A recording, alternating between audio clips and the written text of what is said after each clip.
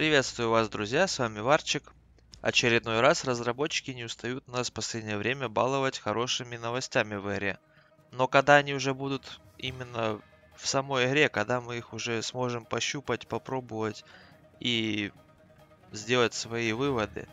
А вот, оказывается, в следующем патче уже разработчики решили поправить балансировщик. И добавить балансировщику, чтобы он видел не только классы техники, но и танки балансил по ролям. То есть, получается, будут учитываться роли танчиков.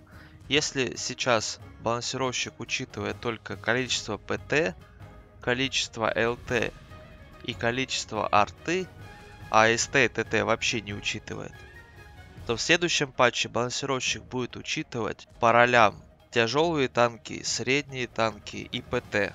Что касаемо арты и ЛТ, они делиться на, на роли не будут, поскольку ЛТ просто типа светят либо активно, либо пассивно, а арта просто жмет кнопку. А вот касаемо ПТ, ТТ и СТ, они будут делиться на группы, ну, так сказать, по ролям.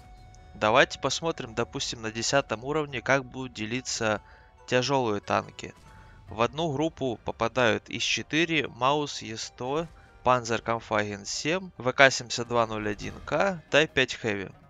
Это, так сказать, толстожопики нашей игры, и они будут играть вместе. То есть, если в одной команде есть маус, то балансировщик будет ему искать напротив какой-нибудь ИС-4 или 100 или Type 5 Heavy, ну или Panzer Kampfwagen 7. Идем дальше. Следующая группа тяжелых танчиков на 10 уровне. Это, так сказать, барабанные танки. Т-57 Heavy, АМХ-50Б, ну и Кранваген. Они друг напротив друга будут попадаться. Отдельно у нас еще идут тяжелые танки, остальные. ВЗ-111 модель 5А, ФВ-215Б, ИС-7, Объект 260, Т-110Е5, Super Conqueror и 113. Это, так сказать, универсальные такие тяжелые танки, которые могут чуточку больше в плане динамики, там, скорострельности, ну и все в таком духе.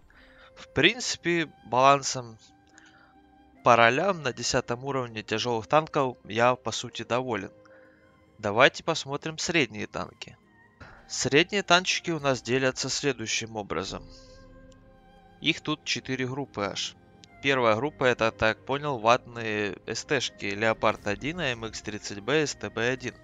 Вторая группа барабанные СТ Бачат и ТВП.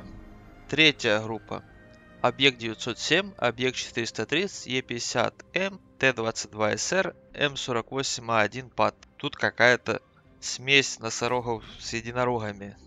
Какие-то такие непонятные одни танки, на которых можно врываться и активно играть, Другие танки, как кемперы, чаще используются Е50М и М48А1 Паттон. Непонятно пока. И четвертая группа М60, Т95Е6, Центурион Action X, Т62А, Объект 140, 121, 121Б. Ну, это что-то с СТ-10 а, непонятно. М60 и Паттонер попадают в разные группы. Ну, честно говоря, непонятно. Непонятно. Просто непонятно. Как они делили эти разные группы танчиков. Что касаемо барабанных и ватных СТ, это все понятно. А что касаемо третьей и четвертой группы, я не понял, как они их делили вообще. Абсолютно. Давайте посмотрим ПТ 10 левела. В первую группу у нас попадают объект 268, Т110Е4, Т110Е3, ВЗ-113ГФТ, объект 263. Ну, это типа такие толстолобые дрынострелы, ну, ясно. В следующую группу у нас попадают Гриль и СТРВ-103Б. Ну, это типа ватные снайперы кустарные, ну, что-то типа такого, походу. И третья группа... И в третьей группе у нас барабанные фаши, ФВ-215Б, Яга и ФВ-4005. Ну, это типа элитные бревнометы и барабанщики. Ну, вот какое-то такое разделение, ну, возможно, оно имеет право на жизнь.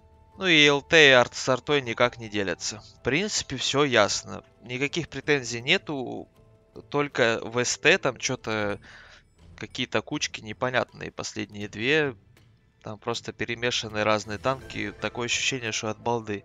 А от все остальные вроде какая-то логика проследуется.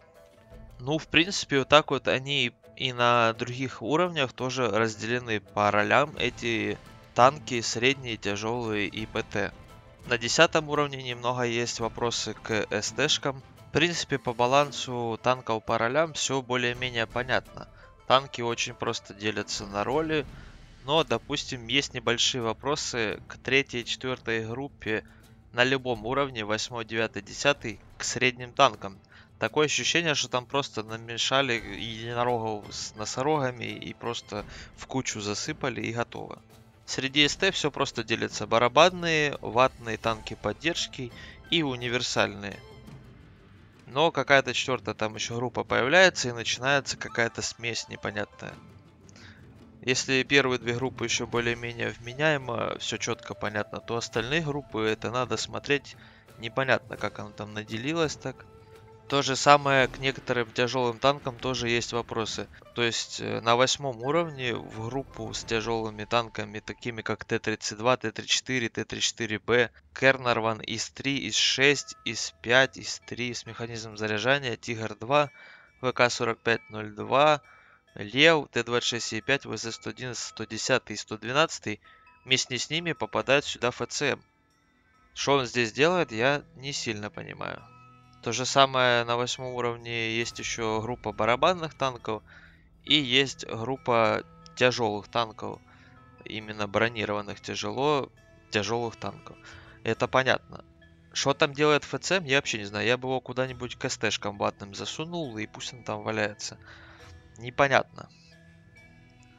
Так, в принципе, идея замечательная. Очень она мне понравилась. Разработчики написали, что хотят получить от нас отзывы и, возможно, подкорректируют все эти группировки танчиков.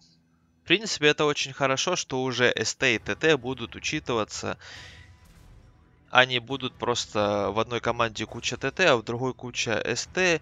Если карта открытая, СТ выиграли. Если карта городская, то ТТ выиграли. Такого больше не будет, и все будет более-менее равномерно. Это, в принципе, отлично пару вопросов есть, конечно, к этим кучкам танков, но когда было в картошке без косяков. Но это еще не все. Повысили шанс попадания в топ для взводов. Кстати, по ролям завода не будут учитываться, а просто под них будут немного подстраивать танки и все. Тоже там непонятно такая фигня, не поломают ли баланс взводные игроки. Посмотрим в следующем патче. Это, в принципе, хорошо, что повысили шанс попадания в топ, играя взводом, но насколько его повысили, непонятно. Потому что, честно говоря, играть взводом противно, потому что ты всегда в жопе списка. Посмотрим на это. Равные шансы на попадание в верхнюю, среднюю, нижнюю часть списка для всех типов техники. Вы могли заметить, что тяжелые средние танки чаще попадают в одноуровневые бои, а САУ и ПТСАУ чаще играют в двух- и трехуровневых боях. Мы изменили настройки балансировщика, чтобы все танки техники были в одинаковых условиях. Оптимизация логики сбора команд. Благодаря некоторым дополнительным настройкам вы чаще будете попадать в бои, собранные по шаблону 3.5.7 и 5.10, без каких-либо отклонений от исходного шаблона для повышения комфортности вашей игры. Ну это отлично. Попадание в генеральное сражение. Мы повысили вероятность попадания в типы боя генеральное сражение, чтобы больше игроков могли поучаствовать в тестировании нового формата игры. Ну, это мне, честно говоря, вообще все равно. Вот такие вот изменения, я считаю, что они положительные на словах. А какие они будут в игре, мы с вами увидим уже буквально, кажется, вот через несколько дней, когда выйдет патч. Пишите свое мнение в комментариях. С вами был Варчик. Играйте красиво, жмите лайки, колокольцы. Ну и в этом видосике еще был один подозрительный момент в бою. Пишите о нем в комментариях. Всем пока.